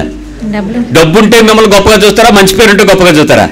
ఆ పేరుంటే ఏముందండి ఆ దాని కూడి కూడా దేటండి? కానీ ఏం పెడద్దు మరి? సొమ్ములు. గొప్ప ఐశ్వర్యం కంటే మంచి పేరును? వెండి బంగారముల కంటే దయయు అసలు ఈ రెండు అవసరం లేదు. వెండి బంగారాల కోసం మనం తెప్పలు పడక్కలు ఏం కావాలి? నిజమైన దైవికమైన దయ మనం కోరుకోవాలి. ఆ రెండో వచ్చిన ఐశ్వర్యవంతులను. దరిద్రులను కలిసి ఉందురు. ఒక్క నిమిషం. ఐశ్వర్యవంతులు దరిద్రులను కలిసి ఇది బైబిల్ చెప్పిన మాట. దాని తర్వాత వచ్చిన కంగారు పడకండి. ఈ వచ్చిన చెప్పే కింద అర్థం అవుద్ది వారందరినీ కలుగ చేసిన వాడు యెహోవాయే. ఎవరందరినీ? దరిద్రులను ఐశ్వర్యవంతులను. దరిద్రులు ఐశ్వర్యవంతులు కలిసి ఉండేవారు అని నేనంటే నా పక్కన ఇంకొక బ్రదరు ఇంకొక అబ్బాయి ఏమన్నాడంటే ఆ నిజమేనన్నా గొప్పోళ్ళ ఇంట్లో పనోళ్ళు దరిద్రులే కదా అన్నాడు. ఒరే నీకు అలాగ అర్థమైందా? ఇంట్లో పని చేసే వాళ్ళందరూ కూడా డబ్బు లేని వాళ్ళు దరిద్రులు కాబట్టి వాళ్ళు పనికి పెట్టుకుంటారనా అది కాదురా అర్థం అది కాదురా అని అలా కూడా అనుకోవచ్చు అన్నాడు. ఒకసారి అనుకో తప్పులేదులే కాకపోతే మనతో మన దరి మన ఐశ్వర్యము ఎంతమంది దరిద్రులను మన దగ్గరకు తీసుకునేదానికి ఉపయోగపడిందో అది దేవుడి వాక్యం. ఎనీబడి సెన్స్ దిస్ వర్డ్ వినపడింది మాట? నా ఐశ్వర్యం ఎంతమంది బీదలతోనూ ఎంతమంది దీనులతోనూ ఎంతమంది పేదలతోనూ ఎంతమంది బలహీనులతోనూ ఎంతమంది దరిద్రులతోనూ నా దగ్గర ఉంచుకునేలాగా స్నేహాన్ని తీసుకొచ్చిందో అది దేవుని విలువ. నిజానికి మన రిచ్నెస్ ఏం చేస్తే చెప్పండి వాళ్ళందరినీ? దూరంగా ఉండు దగ్గర రాకు. ఎవరు నువ్వు? అసలు నీవేంటి సంబంధం? లిఫ్ట్లోకి రాక నేను వెళ్తున్నాను. ఆ యా ఇప్పుడు ఇద్దరిని కలుగు చేసినవాడు ఎవడు? ఇద్దరిని కలుగు చేసినవాడు దేవుడేనంట. ఇప్పుడు ఆలోచించండి దరిద్రులు ఎవరైనా ఉన్నారనుకో వాళ్ళకి అర్థం అవ్వాల్సిందేంటి మా దేవుడు అన్నాడు. ఇప్పుడు ధనవంతుడు ఉన్నాడు అనుకోండి ఇప్పుడు నా దేవుడు అన్నాడు ఎవరిని అనాలి? దేవుడిని అనాలి. ఇప్పుడు వాళ్ళిద్దరూ కలిపి ఒకటే అనే విషయం నీకు అర్థమైతే నువ్వు యేసుక్రీస్తులో క్రైస్తవ్యంలో విశ్వాసంలోకి వెళ్ళినప్పుడు నీకు ఎవ్వరితో కూడా భేదాలు ఉండవు రిచ్ అనేది కళ్ళు చూడదు పూర్ అనేది కిందకి చూడనివ్వదు. అలా చూడగలిగిన స్నేహితులు నీకున్నారా? సంఘంలో ఉన్నారా? చెక్ చేసుకోండి ఒకసారి మీకు ఎంతమంది ఉన్నారు. సహాయంలో కానీ స్నేహంలో కానీ ఈ స్థాయిలో నేను నా పొరుగువానితో ప్రేమపూర్వకమైన ఏ కులము కానీ మతము కానీ రంగు కానీ రూపం కానీ ప్రాంతం కానీ చదువు కానీ అర్హత కానీ స్థాయి కానీ ఆస్తి కానీ ఏ సంబంధం లేకుండా నా హార్ట్ని దేవుని పక్షంగా అంత సంతోషంగా ఇతరులతో కలుసుకోగలగాలి. అలాంటి స్నేహితుడుగా నువ్వు ఉంటాలని దేవుడు నీకు ఏదైనా ఇస్తున్నాడు. ఆ ఇచ్చిన స్థితిని బట్టి ఇంకొకరిని లేని స్థాయి ముందు నిన్ను పెట్టాడు. అలాంటి ప్రదేశంలో నువ్వు సాక్షిగా ఉండాలని దేవునికి అందుబాటులో ఉన్నావా? నువ్వు వస్తే నేను ఉంటాను ప్రభు అంటే అప్పుడు నిన్ను హెచ్చిస్తాడు హెచ్చించి పరీక్షిస్తాడండి. నువ్వు ఉంటావా లేదనేది చెక్ చేయమని చెప్తాడు. జాగ్రత్త. ఇది మొదటి విషయం. ఫస్ట్ విషయం ఏంటి? అన్యాయపు సిరివల్ని ఏం సంపాదించుకోవాలి? స్నేహితులు. సంపాదించుకోవాలి. ఇక్కడ నుంచి ప్రయత్నించేయండి. మళ్ళీ ధనవంతులు దరిద్రులు ఇద్దరు దేవుని దృష్టిలో చెప్పండి. సమానమే. సమానమే. సమానంగా అయినప్పుడు నువ్వు అవతలను తక్కువగా? చూడకూడదు. అక్కడే చిన్న విషయాల్లో నమ్మకత్వం. వాళ్ళతో మనం ఉండాల్సింది దైవికమైన పద్ధతి. క్రీస్తు అయితే ఎలా చూస్తాడు? సో మనం వేరేగా చూసామంటే అర్థం ఏంటి? నువ్వు క్రైస్తవుడు అని అర్థం. క్రీస్తు సంబంధివి కాదు క్రిస్టియన్ అనమాట దట్ రెండో విషయంకి వచ్చేస్తున్నాను. అపోస్తుల కార్యాల గ్రంథం. పదో అధ్యాయం ఇరవై రెండో వచనం యాక్స్ టెన్ ట్వంటీ టూ సంఘటన చెప్పి అంశానికి వస్తాను అపోస్తుల కార్యాలు పదో అధ్యాయము ఇరవై రెండో వచనం. అందుకు వారు. నీతిమంతుడను దేవునికి భయపడవాడును యోధా జనులందరి వలన మంచి పేరు పొందినవాడునైనా ఉమ్. శతాధిపతి యొక్క కొర్నేలి అని ఒక మనుషుడున్నాడు ఇతని లక్షణాలు మనం అప్పుడు చూసాం కదండి? ఆ, ఈ లక్షణాలు అన్నీ ఉన్నాయి. ఓకే. ఇప్పుడు ఇరవై నాలుగో వచనంలోకి వచ్చేసేమ్మా. మరునాడు వారు కైసరులో ప్రవేశించిరి. ఉమ్. అప్పుడు కొర్నేలి తన బంధువులను ముఖ్య స్నేహితులను పిలిపించి వారి కొరకు కనిపెట్టుకుని ఉండెను. ఆగు. ఏం జరిగిందో తెలుసా ఇక్కడ? కొర్నేలి అనేటువంటి ఒక శతాధిపతి ఉన్నాడు. వంద మందికి ఈయన బాస్ హండ్రెడ్ మెంబర్స్కి ఈజ్ అ లీడర్ వంద మందికి నాయకుడిగా ఉండేటువంటి ఈ కొర్నేలి ఒకరోజు దర్శనం వచ్చింది. ఈ దర్శనం ప్రకారం అతను పేతుని పిలవాలి. ఆ దర్శనం ప్రకారం పేతుని పిలవడానికి ఆ యొప్పకి పంపించాడు. అప్పటికి అదే టైంలో దేవుడు అతనితో మాట్లాడుతున్నాడు. అతను ఆకలి కొని మేడ మీదకి ఎక్కి పడుకోవడానికి ప్రయత్నం చేస్తుంటే దర్శనం వచ్చేసింది. ఆ దర్శనంలో ఎక్కడికి వెళ్ళాలో ఎవరు వచ్చి పిలుస్తున్నట్లు చూస్తున్నారు. నేను పంపిస్తున్నాను నువ్వు అక్కడికి వెళ్ళని దేవుడు చెప్పాడు. ఇక్కడ ఈయనకి చెప్పాడు అక్కడ ఆయనకి చెప్పాడు. ఇద్దరికి దర్శనాలు కనెక్ట్ అయ్యి అక్కడికి వెళ్ళంగానే పేతుడు దిగి వచ్చాడు. ఆ ఏం చెప్పానండి మేము వెతుకుతున్నామండి మా కొన్నెల్లి గారని "ఆ, రైట్ నేను వస్తున్నాను పదండి అన్నాడు. వచ్చాడు. వచ్చేటప్పటికి కొన్నెల్లి ఏం చేస్తున్నాడు? ఇప్పుడు మళ్ళీ ఇరవై నాలుగు వచ్చిన చదువు. మరునాడు వారు. కైజరేలో ప్రవేశించిరి. అప్పుడు కొర్నేలి తన బంధువులను ఎవరని పిలిచాడు కొన్నెల్లి గారు? బంధువులను బంధువులు. ముఖ్య స్నేహితులను పిలిపించి పిలిపించి వారి కొరకు కనిపెట్టుకుని ఉండెను. ఆగండి. నీవు ఏదైనా ఒక పరిచర్య నీ ఇంట్లో పెట్టుకుంటే ప్రేయర్ పెట్టుకుంటే నీ బెస్ట్ ముఖ్యమైన స్నేహితుల్ని ఎంతమందిని పిలుస్తారు? బంధువుల్ని ఎలాగో పిలుస్తారు. ఎందుకంటే మళ్ళీ మీరు వారాలకు వెళ్తారు కదా. మీరు వెళ్ళి అక్కడ తినేసి వస్తారు కాబట్టి మీ క్రిస్మస్ పండగకి మేము మాకేం పెట్టరా మాకేం పిలవరా అంటే నిజానికి క్రిస్మస్ పండగ వచ్చిందనంటే అవతల వాళ్ళందరికీ ఉండే ఒకే ఒక అభిప్రాయం ఏంటి చెప్పండి? బిర్యానీ. కేకు. గులాబ్ పూలు ఇంకేవో ఒక చెగుడీలు అదే జంతికలు ఆ, లడ్డూలు. ఇప్పుడు తింటమే కదా పండి. ఇంకేమైనా పండగ ఏమైనా ఉంటుందా? తింటమే. పొరపాటున వాళ్ళు ఎప్పుడైనా మనం పిలవాలన్నా కూడా ప్రేయర్కి రండి అన్నా కూడా వాళ్ళు ఎప్పుడు వస్తారు చెప్పండి? తిండి టైంకి ఎక్కడ చేరుతారు? ఎందుకు వాళ్ళకి? ప్రేయర్ మీది తిండి ఖచ్చితంగా వాళ్ళు అలాగే వస్తారు. మనం మాత్రం వాళ్ళు పూజ చేసుకొని భక్తి చేసుకొని ఏమైనా చేయని మీరు ఒక దేవత మీరు ఒక దేవుడు మీకు వేరే కొడుకు వస్తారు కదా. అక్కడంటే వాళ్ళు కోసేస్తారు. మీకు సపరేట్ పారం కోడికి వస్తారు కదా తెల్లకోడి అందుకు మీరు దేవతలు కాబట్టి మీరు ప్రత్యేకంగా వెళ్ళి తినొస్తూ ఉంటారు. అది వేరే విషయం. సో వాస్తవంగా చూడండి ఆయన అక్కడ పిలిపించేటప్పుడు బంధువులు ముఖ్య స్నేహితుల్ని పిలిపించుకున్నాడు. ఎలాంటి బంధువులు వచ్చారో ఎలాంటి ముఖ్యమైన స్నేహితులు వచ్చారో మీకు చెప్తే షాక్ అవుతారు. నలభై నాలుగు వచ్చిన పేతురు ఈ మాటలు ఇంకా చెప్పుచుండగా. అతని బోధ విన్నవారందరి మీదకి పరిశుద్ధాత్మ దిగెను. ఎవరెవరు ఉన్నారు అక్కడ? బంధువులు ఉన్నారు స్నేహితులు. స్నేహితులు కాదు. ముఖ్య స్నేహితులు. ముఖ్య స్నేహితులు ఉన్నారు. ఫ్రెండ్స్ చాలా మంది ఉంటారు. ద ఇంపార్టెంట్ ఫ్రెండ్స్ ఎవరు? They are not the rich వాళ్ళు బలం కలిగిన వాళ్ళు కాదు. వాళ్ళు ధనం కలిగిన వాళ్ళు కాదు. వాళ్ళు పేరు ప్రఖ్యాతులు ఉన్న వాళ్ళు కాదు. కానీ వాళ్ళకి శారీరకంగా ఆత్మీయంగా మనో మనో సంబంధంగా ముఖ్యమైనటువంటి అనుబంధం కలిగినటువంటి వారు. అందుకే బంధువులను ముఖ్య స్నేహితులను కలిపాడు అక్కడ. So very very very very important పీపుల్ని ఆయన పిలిచాడు. ఆ పిలిచిన వాళ్ళందరి మీదకి ఏం జరిగిందట? పరిశుద్ధాత్మ దిగెను. మీరు ఎప్పుడైనా అలాంటి ప్రేయర్ మీ ఇంట్లో పెడితే పరిశుద్ధాత్ముడు మీ ఫ్రెండ్స్ అందరి మీద దిగాడా? అలాంటి ఎక్కడైనా విన్నారా అపోసుల కార్యాలు కాకుండా? మొన్న మేము ఎక్కడికో వెళ్తే ఆయన అన్నాడు ఇప్పుడు మీరు ప్రార్థన చేస్తే భూమి కంపేస్తుందా అన్నాడు. నువ్వు వెళ్ళిపోతే కంపేస్తుందా అన్నాను. అదేంటి అన్నాడు. మేము ఏకీభవిస్తాము. నువ్వేమంటావు? ఏకీభవించకుండా మాకు వ్యతిరేకంగా మారుతావు. ఒక్కడే ఏకీభవించకపోయిన కార్యం జరగదు. కాబట్టి నువ్వు వెళ్ళిపోయి ఇక్కడ నుంచి. ఈ వార్త రేపు తెల్లారి పేపర్లో వస్తే చూసుకో అన్న. ఆ దమ్ము నీకు ఉండాలి. అప్పుడు చెప్పు. ఎప్పుడైనా పరిశుద్ధాత్ముడు అన్యజనుల మీద కూడా దిగవచ్చు అక్కడ కింద వచ్చిన చదువునా నలభై నాలుగు నుంచి? అదే. నలభై ఏడు వరకు వచ్చి నలభై ఏడు చదువు? అందుకు పేతురు. మనవలే పరిశుద్ధాత్మను పొందిన వీరు. బాప్తిస్మం పొందకుండా ఎవడైనను నీళ్ళకు ఆటంకము చేయగలడా అని చెప్పి వాళ్ళందరూ ఏసునామంలో బాప్తిజం తీసుకోండి అని చెప్పి చెప్పేశాడు. కొద్ది రోజులు పాపం ఆయన బతిలాడి మీరు ఉండండి అన్నారు. ఉన్నాడు వెళ్ళాడు తర్వాత విషయం. ఎప్పుడైనా అలాంటి ప్రదేశంలో దేవుని యొక్క వాక్యం చెప్తూ ఉండగా దేవుని అభిషేకం వారి మీదకి దిగి వచ్చి వారందరూ కూడా బాప్తిజమం పొందుకునేలాగా పేతురు ఈ విషయాన్ని నెక్స్ట్ చాప్టర్లో కన్ఫర్మేషన్ ఎలా ఇస్తాడో తెలుసా? నేను నీటిలో బాప్తిజం ఇస్తూ వస్తున్నాను నా వెనకతలో వచ్చి వాడు పరిశుద్ధాత్మలో బాప్తిజం పొందుతాడని దేవుడు చెప్పాడు కదా అలాగ పరిశుద్ధాత్ముడు దిగి వచ్చి వాళ్ళందరూ బాప్తిజం పొందుకున్నారు అనే విషయాన్ని పేతురు మాట్లాడతాడు.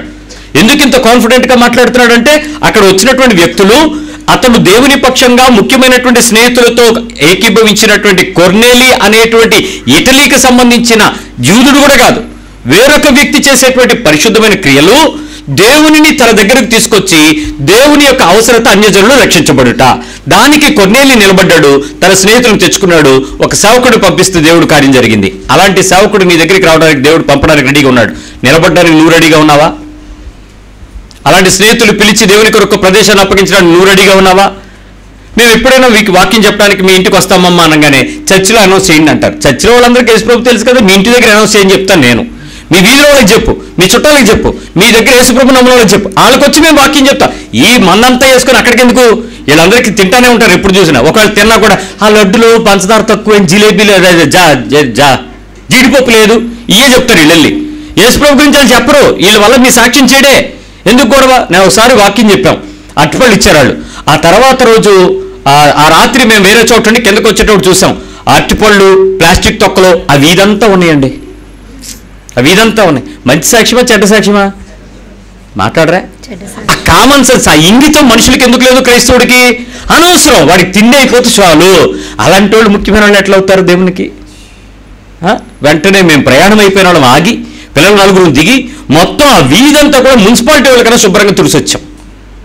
మేమేదో చేసేసామని కాదు. మీరు చేసిన పని వల్ల దేవుని నామం అవమానపరచబడి ఆ ఇంటి సాక్ష్యం చెడిపోదు మీరేనమ్మా ప్రేయర్ పెట్టారు. చూడండి అరటిపండు తొక్కలు ఎక్కడేశారు కాలువలు బ్లాక్ అయ్యేలాగా చెత్త దానిలో పడేస్తారా?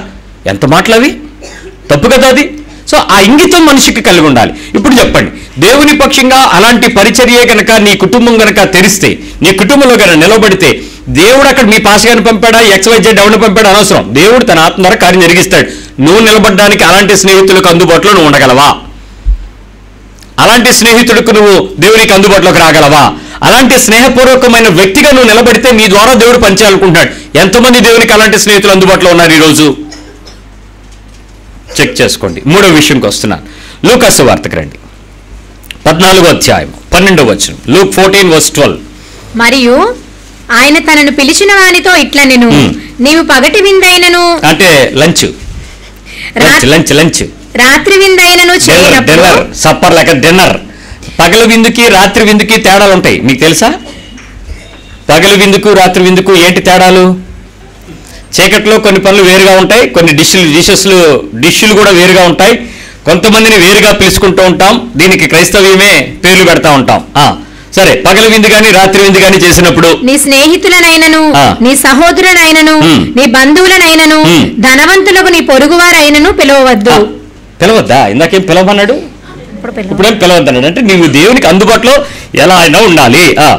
వారు ఒకవేళ నిన్ను మరలా పిలుతురు గనుక. నీకు ప్రత్యుపకారము కలుగును.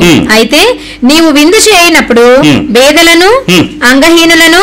కుంటివారను గుడ్డివాండను పిలువుము. నీకు ప్రత్యుపకారము చేయుటకు వారికి ఏమీ లేదు గనుక నీవు ధన్యుడు వగదువు నీవు ధన్యుడుగా ఉండడానికి ఎంతమంది రెడీగా ఉన్నారు? ఒకసారి చెయ్యత్తని చూస్తాను. మీ ఇంట్లో శుభకార్యాలకు నన్ను కూడా పిలవండి. అప్పుడు వీళ్ళు ఎవరు వస్తారో నేను చూస్తాను. నిజం చెప్తున్నాను ఉదయం కూడా నేను ఒక ప్రశ్న విన్నాను. ఆ బాబు అడిగాడు అన్న ఫస్ట్ ఇయర్ బర్త్డే బాబుది సిస్టర్ చేయడానికి ఊరుకోవట్లే చేయకుండా ఉంటానంటే ఒప్పుకోవట్లేదు మరి ఎలా చేయాలి అన్నాడు. ఎలా చేస్తావు? నీ మహిమ కోసం చెయ్యి అంతే. దేవుని మహిమ కోసం చేయాలంటే ఇది ఎలా చేయాలని ఉంది. ఎలా చేయటానికి ఊరుకుంటుంది ఆవిడ?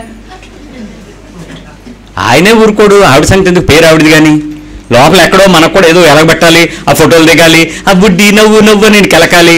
ఏ ఉంటాయి కదా ఆడికి బంగారు మొలతాడు బయటికి కనపడాలి అది వెండి మొలతాడు బయటికి మెడలో చేయని బయటికి. వేసి కనిపించే కదా మీరు ఆడవాడు చేయాలి. ఆ, ఈ పని అంతా చేయటానికి దేవుడి మహిమ ఏది? దేవునికి అందుబాటులో ఉండే స్నేహితులేరి ముఖ్యమైన స్నేహితులు సైతం వదిలిపెట్టి గుడ్డోళ్ళు కుంటోళ్ళు చెవిటోళ్ళు మోగోళ్ళు ఇలాంటి వాళ్ళని తీర్చుకొచ్చేటువంటి దేవునికి స్నేహితులు ఎవరైనా ఉన్నారా? ఏం మాట్లాడరండి. అందుబాటులో రారే. మీరు ఎన్ని చెప్పండి బ్రదరు? ఎవరెవరిని పిలవాలి మనం చెప్పండి ఇక్కడ ఉన్నట్లు? బేదలను? కాదు మనం పిలవాల్సిన వాళ్ళు. ఆ పైన ఎవరు వద్దన్నారో వాళ్ళని పిలవాలి. ఎవరెవరిని? స్నేహితులనైనను? మంచి స్నేహితులు. నీ సహోదరులనైనా మంచి మన రిలేటివ్స్. బంధువులనైనా బంధువులు. ధనవంతులకు నీ పొరుగు మరి రిచ్.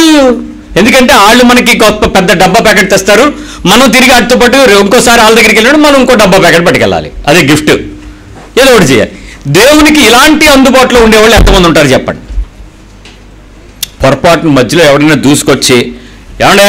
అన్నాడు. హే తర్వాత పిలుస్తా, ఒకవేళ ఇంకేమైనా ప్రేమగా పిలవాల్సి వస్తే పళ్ళులో మనం అన్ని పెట్టేసి దూరంగా తీసుకెళ్ళిపోయి దూరంగా మళ్ళీ ఎవరు మనుషులు అంతా కనపడితే డిస్టర్బెన్స్ అయిపోద్ది పార్టీ. అందుకని దూరంగా తీసుకెళ్ళి ఆకు అక్కడ పెట్టి తిని మంచినీళ్ళు కావాలంటే నా పిలువే తెత్తను అని చెప్పి వెళ్ళిపోతాం మళ్ళీ. ఏమన్నా అన్నాం అనుకో నేను ఒకసారి అలాగే పెడుతూ ఉంటే బ్రదర్ అడే అండ్ నా పక్కన కూర్చోబెట్టి భోజనం పెట్టచ్చు కదండి సార్ ఊరుకోండి సార్ ఫీల్ అవుతారు పక్కన. ఫీల్ అవ్వడం ఏంటి? యేసుప్రభు ఈడి చేసినందుకు ఫీల్ అవుతాడు ఇప్పుడు. ఆడి చేసినందుకు ఫీల్ అవ్వడు ఇప్పుడు నువ్వు ఎవరు ఫీల్ అవుతారు? హోస్టింగ్ ఎవరు చేస్తారో వాళ్ళు ఫీల్ అవుతారు. ఏసీ హాల్స్ అందుకే ఎందుకు బుక్ చేస్తున్నారు? బయట రానివ్వకుండా ఉండడానికి. ఆడే భయపడతాడు కదా. ఆడ ఒకవేళ బయట ఉండిపోయి ఆయన అమ్మా బాబు అంటాం అనుకోండి. అసలు ఆ ఫోన్లో మనకు ఆ టైంలో నిజంగా కరెక్ట్గా మాట్లాడుతున్నట్టు మాట్లాడుకెళ్ళిపోతాం. ఆడు ఆ చెవిటోడు బాధ ఆ గుడ్డోడు బాధ ఆకలితో ఉన్న క్షుద్బాధను తీర్చడం మన కనీస ధర్మం అనే విషయం కూడా క్రైస్తవుడు మర్చిపోతాడు. నువ్వు దేవునికి స్నేహితుడువా? అన్నితో స్నేహం చేస్తాడా? నీ గురించి ఆనందిస్తాడా? నీ పనులు ఆయన తృప్తి పడతాడా? నీ ప్రార్థన ఆయన వినేసి నీకేం భక్తా మెచ్చితి నేను రాత్రి వచ్చేసి కళ్ళ దర్శనాలు ఇచ్చేస్తాడా? ప్రవచనాలు వచ్చేసినాయా నీకు? వాగ్దానాలు నెరవేరిపోయినాయా? ఎంత అంబ క్రిస్టియన్ వండి? నిన్ను నువ్వు ఎంత మోసం చేసుకుంటున్నావండి ఎంత పనికిమాలిన ఆలోచనతో దేవుని ఎందుకు బతుకుతున్నావండి నిజంగా దేవుడు ఎవరితో ఆనందిస్తాడు? బీదల రాజ్యం ఆయిందని చెప్పాడు కదా. ఆయనకి ఇచ్చు ఆయనకి ఎవడైనా సహాయం చేస్తే యహో కప్పిచ్చువాడు అన్నాడు కదా. ఏమనుకుంటున్నారు దేవుని పక్షంగా? సో ఆ కైండ్ హార్ట్నెస్ ఎందుకు డెవలప్ అవ్వదు మనలో? అక్కడ అందుబాటులో నిజమైన దేవునికి స్నేహితులు ఎవరు కూడా లేరని నిర్బంధంగా మనందరం రుజువు చేయొచ్చు. ఒకవేళ మీ పక్క వాళ్ళు చెప్పండి ఒకవేళ రేపు ఏమైనా మా ఇంట్లో కార్యక్రమం చేస్తే ఇలాంటి వాళ్ళు వస్తారు నువ్వు ఫీల్ అయితే రావద్దని చెప్పేయండి ముందే. చెప్పేయండి. అలా చెప్పారు అనుకోండి గొడవ వాళ్ళు ఫీల్ అవరు మీ పక్కన ఇంకొకటి ఎవడో మంచి కొంపు కొడుతున్నాడు కూర్చున్నా కూడా వీళ్ళు కూడా తీసుకుని జిలేబీ తింటావా? ఈ లడ్డు ఏనంటావా? నువ్వు కూడా ప్రేమగా వాళ్ళకి హెల్ప్ చేస్తావు. మీ పిల్లలకి వాళ్ళకి సహాయం చేయడం నేర్పించండి. మీరు చేయకపోయినా కనీసం వాళ్ళకైనా ఆ జాలి హృదయం తయారవుతుంది. దేవునికి సహాయపడడం నేర్పించబడతాయి? ఇచ్చేటప్పుడు కాయిన్ ఉందా? రూపాయి ఉందా?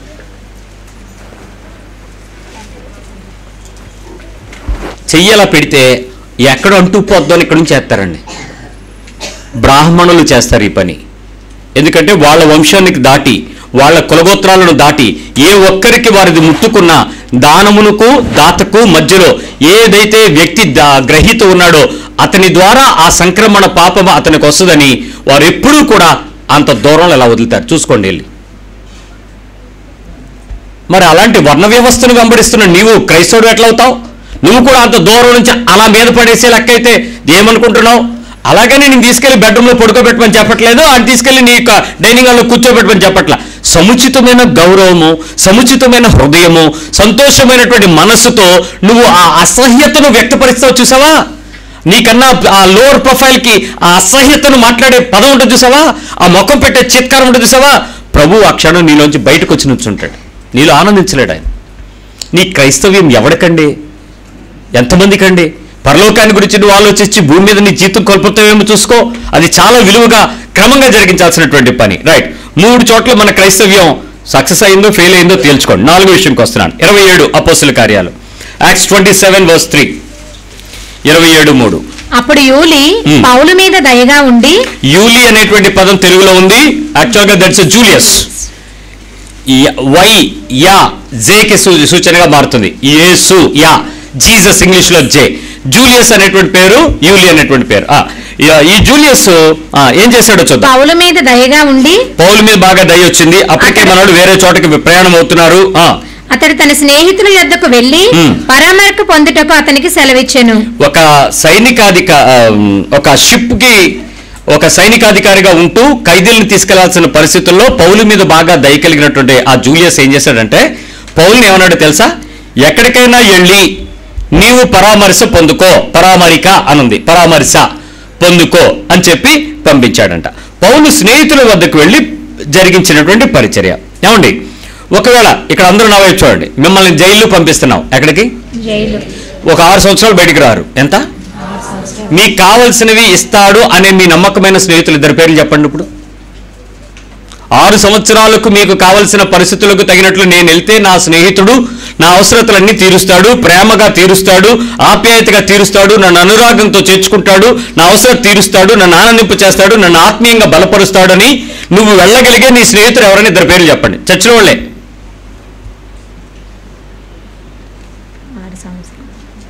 ఉన్నారా? పొరపాటు నువ్వు ఆరు సంవత్సరాలు ఖైదీ పడిపోయినట్టు రాత్రి పేపర్లో టీవీలో పడిపోయాక నువ్వు వాడి ఇంటికి వెళ్తే ఏమంటాడు చెప్పండి? తలుపు తీసేసింది అనుకోండి మీ పిల్ల. నాన్న లేడని చెప్పి లేడని చెప్పి లేడని చెప్పి. ఏం చెప్తారు మీ పిల్ల? నాన్న లేడు లేడు. నాన్న అన్న సంకేతం అటు లేడు అనేది సంకేతం ఇటు. ఇప్పుడు యు జూలియస్ చెప్పేటప్పుడు పౌలు తన స్నేహితుల దగ్గరికి వెళ్ళటానికి ఇష్టపడ్డాడంట. ఉన్నారు పౌలుకి అలాంటి స్నేహితులు ఉన్నారు. ఈరోజు నీకు అలాంటి స్నేహితులు ఉన్నారా? ఒక ఆపద నీ ముందుంటే ఒక ఖైదు నీ ముందుంటే ఒక శిక్ష నీ ముందుంటే ఒక అవమానం నీ ముందుంటే వాళ్ళని నీ గుమ్మం దగ్గరికి రానిచ్చే స్నేహితులు ఉన్నారా? నీ హృదయంలో సంగతి తర్వాత గుమ్మం దగ్గరికి. ఏమి క్రైస్తవ్యం మనది ఏమి సాక్ష్యం మనది దేవునికి అందుబాటులో మన స్నేహితుల మధ్యలో మన పరిచర్య ఎలా ఉండాలి? మన అందుబాటు ఏంటి? ఆ స్నేహం యొక్క విలువ ఏంటి? ఆ స్నేహితులుగా దేవుని యొక్క పద్ధతిలో ఉండాల్సిన లక్షణం మనలో ఎందుకు లేదు? ఎందుకు మోసపు క్రైస్తవ్యాన్ని ఎంచుకున్నాం ఈరోజు బయట కనపడుతున్నదంతా కూడా ఏమైనా కొంచెం సహాయం కొంచెం ఇలా దొరికితే అండ్ వదిని ఆరు ఆరు ఆరు వందలు పెడితే ఆరు వందలు వచ్చేస్తుంది వదిని మొదలెట్టేసింది వ్యాపారం. ఈ సేర కొంటే ఆ జాకెట్ ఫ్రీ వదిని ఇది స్పూన్ కొంటే అలా చెంచా అదే అదే ఆ డబ్బా కొంటే స్పూన్ ఫ్రీ పొదిని ఈ స్కీమ్ కట్టు ఆ స్కామ్లో దూరు. ఎంతసేపు ఈ డెవలప్ అయిపోదాం డెవలప్ చేసేద్దాం ఏదో ఒకటి చేసుకుందాం ఆత్మీయత ఒక అవమానం ఎదురుగా ఉన్నప్పుడు ఒక కఠినత ఎదురుగా ఉన్నప్పుడు ఒక పరిస్థితి తనకు అనుకూలంగా లేకుండా జైలుకు వెళ్ళిపోతున్నప్పుడు పరామర్శించబట్టానికి నువ్వు పలానా దగ్గరికి వెళ్ళి నీ స్నేహితుల దగ్గరికి వెళ్ళు అన్నాడంటే పౌలు రిలేషన్స్ ఎలా ఉన్నాయి చెప్పండి. అలాంటి పరిస్థితుల్లో అప్పట్లో సెల్ ఫోన్ లేవు. ఇప్పుడు సెల్ ఫోన్లు ఉన్నాయి అనుకోండి. మొదట ఎవరు అనగానే నేను రా ఆలివ్ గ్రీన్ని అన్నాం అనుకోండి. నెక్స్ట్ మీరు ప్రయత్నం చేస్తున్న వినియోగదారుడు నెట్వర్క్కి వెలుపలగా ఉన్నాడు. దయచేసి కాసేపు ఆగి ప్రయత్నించండి. ఏమైనట్టు? మరికొద్ది నిమిషాలు ఫోన్ చేయగానే టక్కుమని కట్ అయిపోద్ది. అంటే కాల్ ఏం చేశాడు వాడు? మన ఫోన్ని? బ్లాక్ లిస్ట్లో పెట్టేశాడు. అయిపోయా టక్క నిమిషం. ఇక తర్వాత ఇది కాదులేని ఎన్ని ప్రయత్నాలు చేయాలో మనకు తెలియదు ఏం కాదు. ఈరోజు నీ విశ్వాస జీవితానికి పరీక్ష. నీవు అలాంటి స్నేహితుడుగా మారితే నీకు అలాంటి స్నేహితులు ఉంటారు. అంతేగాని అవతలోడు లేడని వాడి మీద నిందలేయకండి నీ నీ నీ. వ్యక్తిత్వం ఏంటో పరీక్షించుకో. నీలో అలాంటి ఆ సహృదయత అలాంటి విస్తారమైన మనస్సు అలాంటి ప్రేమపూర్వకమైన చర్యకు తీసుకోగలిగినంత ఆశ ఉన్నాయో లేవో చెక్ చేసుకోండి. అలా చేర్చుకోగలమా?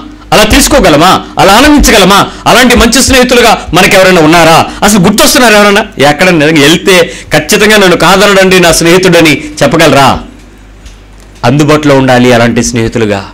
దేవునికి అందుబాటులోకి రావడం దేవుడు కోరుకునేటువంటి మంచి స్నేహం. నాలుగు స్నేహాలను చూపించాను దేవునికి అందుబాటులో ఉండాల్సిన దగ్గర నాలుగు చోట్ల ఉన్నారో లేదు మీరు తెచ్చుకోండి ఐదో విషయం. మూడో యోహాన్ పద్నాలుగు వచ్చిన థర్డ్ జాన్ వాస్ ఫోర్టీన్. శీఘ్రముగా నిన్ను చూడ యోహాను నిరీక్షించుచున్నాను పత్రికలు మూడు ఉంటాయి. మూడో పత్రిక చూద్దాం. ఆ, పద్నాలుగు వచ్చిన అప్పుడు ముఖాముఖిగా మాట్లాడుకొనిదము. నీకు సమాధానము కలుగును గాక. మన స్నేహితులు నీకు వందనములు చెప్పుచున్నారు. ఎవరు? స్నేహితులు. మన స్నేహితులు. మన స్నేహితులు.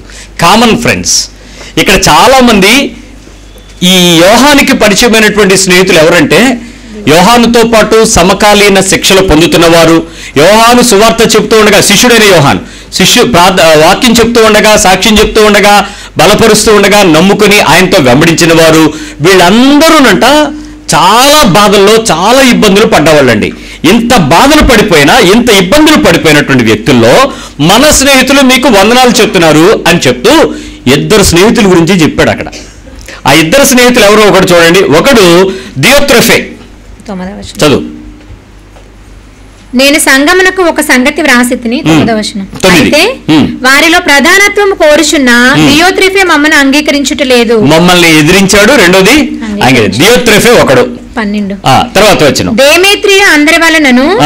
సత్యము వలనను మంచి సాక్ష్యము మంచి. సాక్ష్యం పొందినోడు దేమేత్రి ఇద్దరున్నారు ఇప్పుడు ఒకవేళ మీ పరిచర్యలలో మీ విశ్వాసాలలో మీ పనులలో మీ పద్ధతులలో మీ కుటుంబాలలో ఇలాంటి పరిచర్యనే గనక దేవుడు మీకు ఇస్తే మీరు ఎదిరించే వాడిని మంచి సాక్ష్యం కలిగిన వాళ్ళని గుర్తించగలరా లేదా యోహాను స్నేహితుల గురించి మాట్లాడుతూ మన స్నేహితులు మీకు వందనాలు చెప్తున్నారు పేరు పేరున వాళ్ళతో వందనాలు చెప్పండి అంటాడు కింద.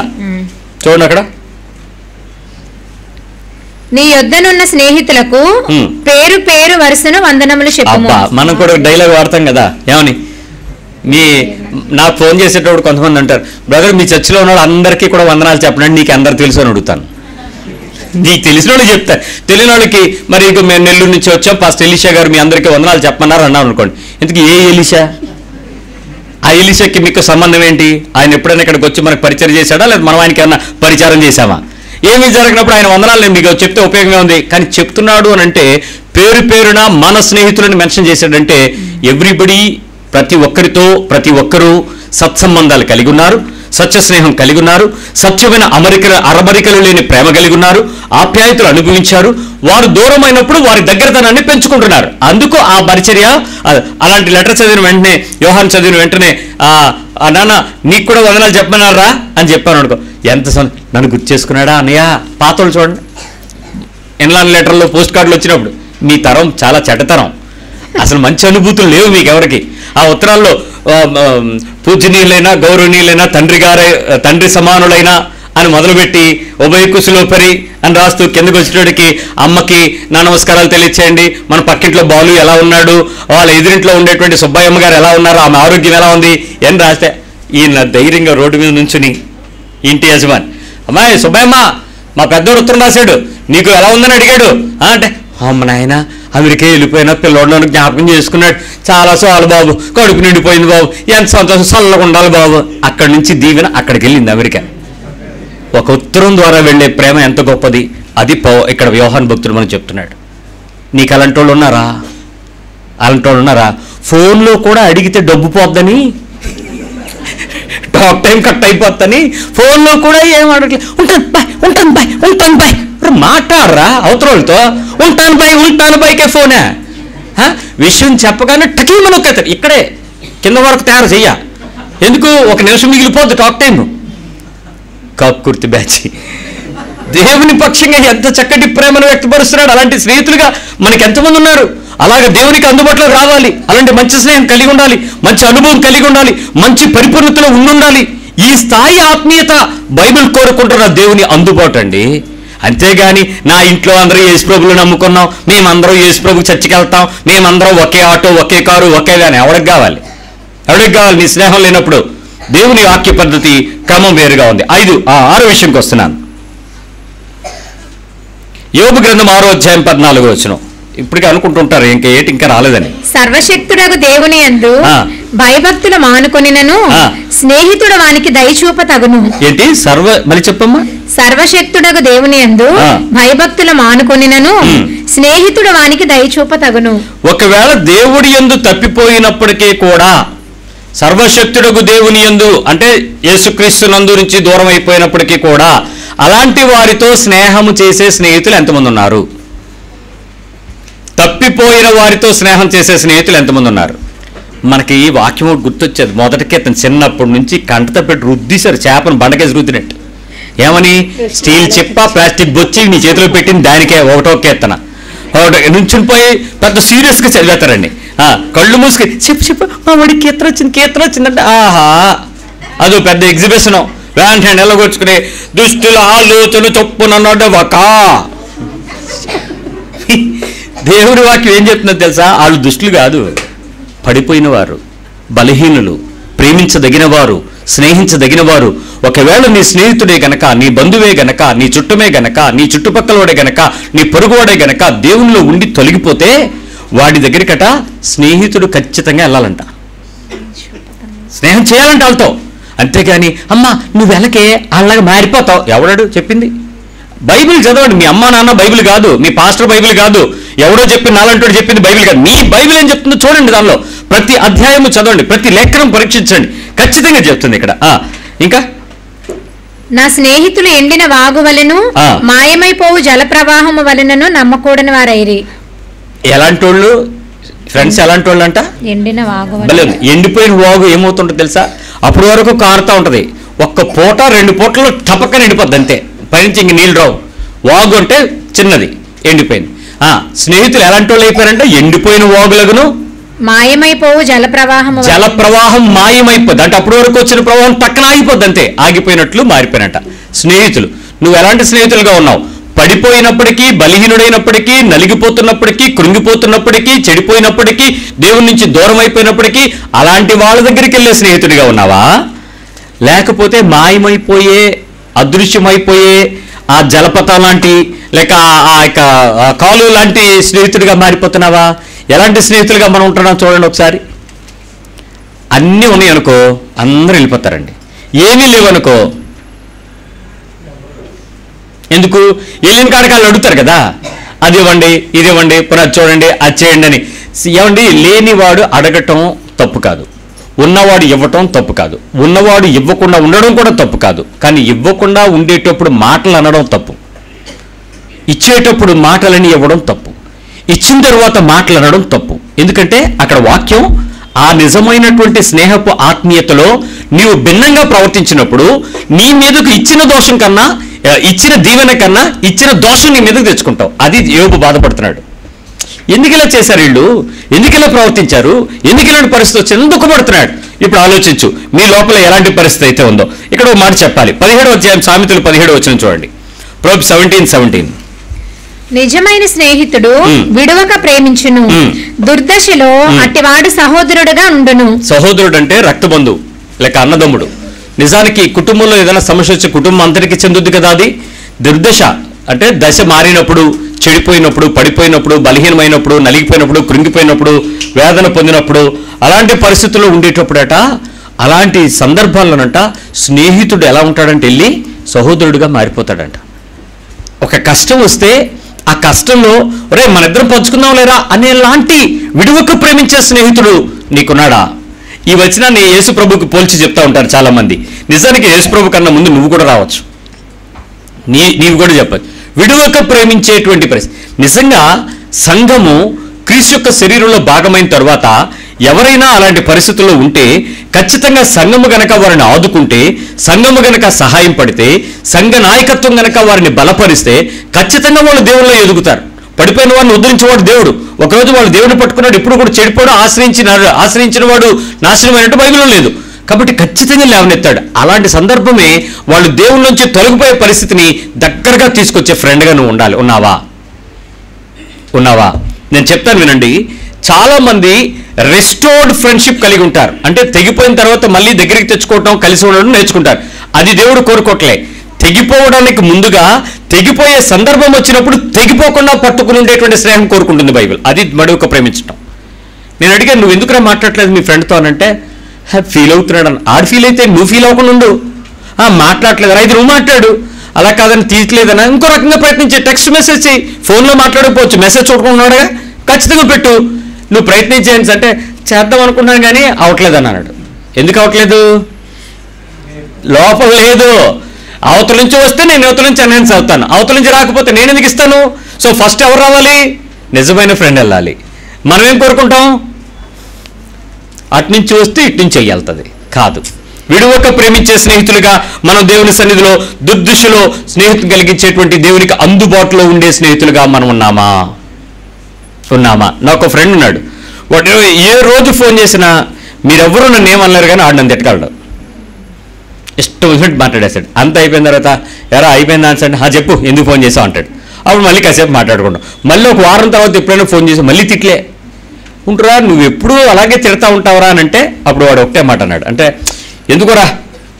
నీతో రోజు మాట్లాడదాం అనుకుంటుంది అనుకుంటాను. నువ్వేమో దొరకవు బిజీగా ఉంటావు. కాబట్టి దొరికిన వెంటనే నా బాధ అంతా వ్యక్తపరిచేస్తాను అన్నాడు. అది బాధ కాదురా. నాకు కూడా బాధ కలుగుద్ది కదరా. కొంచెం ఏదో అలాగేనంటే నేను ఎలా మాట్లాడినా నువ్వు ఒకేలాగా మాట్లాడతావు కదరా. నువ్వు ఫీల్ అవ్వవు కదరా. నీకెందుకురా ఫీలింగ్ వచ్చింది అన్నాడు. ఆ రోజు నుంచి అసలు లేదు ఫీలింగ్ అస్సలు ఫీల్ అవును అడెన్ అంటున్నా వాడు రిలాక్స్ అవుతున్నాడు. వాడు నన్ను ప్రేమిస్తున్నాడు. కాబట్టి నా స్నేహితుడు అలాంటి పరిస్థితుల్లో ఒక సందర్భంలో తన మాట అన్నాడు. నిజంగా నన్ను అందరూ వదిలేసినప్పుడు నువ్వు నన్ను ఫోన్ చేసి మాట్లాడావు చూసావురా? నేను నిన్ను అంత బాధపడుతున్నా దుఃఖపడుతున్నా వ్యసన పడుతున్నా అరుస్తున్నా కేకలేస్తున్నా కూడా మీరు చాలా కష్టపడుతున్నప్పుడు పరిస్థితులు కూడా ఉన్నాయి కదరా? ఆ రోజు కూడా నువ్వు నన్ను వదలలేదురా. ఈరోజు నేను ఈ స్థాయిలో ఉన్నానంటే నువ్వేరా? నువ్వు నీ మాటలేరా నన్ను బలపరిచాయి? అన్నాడు. ఆ ఒక్క మాట చాలు కదా? లైఫ్ టైం వాడి చెత్తిట్లు తినడానికి? వాడి సాక్ష్యం అదే కదా? ఒక విశ్వాసి జీవితంలో అలాంటి మంచి స్నేహితుడిని కలిగి ఉండడం దేవుని ధన్యత. ఆ స్నేహితుడు నీకున్నాడా? ఆ స్నేహితుడిగా నువ్వు ఉన్నావా? ఆఖరి విషయం చెప్తున్నాను. నలభై రెండు పది. Job forty two ten. మరియు. యోబు తన స్నేహితుల నిమిత్తము ప్రార్థన చేసినప్పుడు యోబు తన స్నేహితుల నిమిత్తం ప్రార్థన చేసినప్పుడు యెహోవా అతనికి క్షేమ అతని క్షేమ స్థితిని మరలా అతనికి దయచేసెను. ఏం చేశాడు దేవుడు? అతని క్షేమ స్థితిని ఏం చేశాడు అతను? తన స్నేహితుల కొరకు ప్రార్థన చేస్తే తన యథార్థ స్థితి దేవుడు తనకి ఇచ్చాడంట మీరు అలాంటి స్నేహితుల కొరకు ప్రార్థన చేసే స్నేహితులేనా? అలాగ ప్రార్థన చేసే దేవుని పక్షమైన ప్రతి కార్యమును సంపాదించుకునేటువంటి స్నేహితులేనా? ఆలోచించండి. అలాంటి స్నేహితులుగా ఉన్నారా? ఒకసారి జ్ఞాపకం చేసుకోండి. సో ఏ పరిస్థితుల్లోనైతే మన అంతరంగంలో ఎలాంటివి ఉన్నామో ఎలాంటి వారంగా ఉన్నామో ఒకసారి ఆలోచించండి. ఎందుకంటే తన స్నేహితుల నిమిత్తం అతను ప్రార్థన చేసేటప్పుడు దేవుడు అతనికి పూర్వపు స్థితి ఇచ్చేసాడండి ఎలా ఉండకూడదో తెలియాలి కదా? సా ఆరో అధ్యాయం పదిహేను వచ్చిన సేమ్ జోబ్ సిక్స్ ఫిఫ్టీన్ నా స్నేహితులు ఎండిన వాగు వలెను. మాయమైపోవు జల ప్రవాహము వలెను. నమ్మకూడని వారైరి. నమ్మకూడని వారైరి ఆ, నమ్మకూడని వారు నమ్మలేనటువంటి వారు నమ్మడానికి అవకాశం లేనటువంటి వారైనటువంటి స్నేహితులు మీరు ఎవరిని నమ్ముతారు ఎవరు నమ్మరు. ఒకసారి లిస్ట్ రాసుకోండి నమ్మగలిగిన వాళ్ళు నమ్మలేని వాళ్ళు మీ ఫ్రెండ్స్. తన స్నేహితుల కొరకు అతను ప్రార్థన చేశాడు. ఆ స్నేహితులు ఎవరో తెలుసా? నమ్మదగని వారు. వారి కోసం ప్రార్థన చేసి అతని పూర్వస్థితి తెచ్చుకున్న తర్వాత తన స్నేహితులందరినీ కూడా దేవుడు అభివృద్ధి పరచాలని కోరుకున్నాడంట. అలాంటి స్నేహితులుగా అలాంటి స్నేహాలలో మనం ఉన్నామా నేను మీకు ఏడుగురు స్నేహితులు పరిచయం చేశాను. ఏడు స్నేహాలు దేవుడు కోరుకుంటే స్నేహితుల మధ్యలో నువ్వు సాక్షిగా ఉండాలని దేవునికి అందుబాటులో ఉండాలని కోరుకుంటున్నాడు. ఇక్కడ ఫ్రెండ్స్ అని చెప్పి యవన కాలంలో అన్నీ వదిలేసి ఇష్టానుసారము తిరిగి ఇష్టానుసారము చేసేటువంటి స్నేహితులుగా ఉండాలని దేవుడు కోరుకోట్లా. ఏం మాట్లాడినా మా ఫ్రెండ్స్ మా ఫ్రెండ్స్ కోసమే మా ఫ్రెండ్సే అంతా అని ఇలాంటి జీవితం కూడా చూడాలని దేవుడు కోరుకోట్లా. కానీ వ్యక్తిగత జీవితంలో ఎలాంటి స్నేహము దేవుని కొరకు ఆ పొరుగువాని మధ్యలో మనం ఉండాలని కోరుకుంటున్నాడో అలాంటి స్నేహితులుగా ఎంతమంది దేవునికి అందుబాటులో ఉన్నారు? ప్రార్థన చేద్దాం. ప్రభు సహాయం అడుగుదాం. ఒకవేళ దేవుడే ఈ రాత్రి నిన్ను అలాంటి స్నేహితుడిగా చేయాలని అనుకుంటే ఎంత ఆశగా ఎంత ఆనందంగా ఎంత ఆలోచనగా నువ్వు దేవుని కొరకు అప్పగించుకుంటావో కదా? ప్రార్థన చేద్దాం.